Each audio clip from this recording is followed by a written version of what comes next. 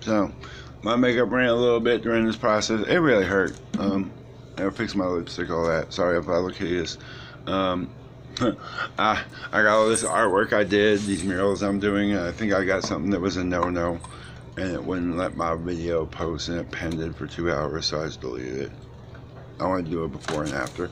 But, after drawing them on for over a year, I now have hearts permanently affixed to my cheeks. Mm -hmm. Yep. I'm gonna wash my face and fix my makeup, but those hearts look banging, dude, with the way I did my makeup this morning. They really do. Mm.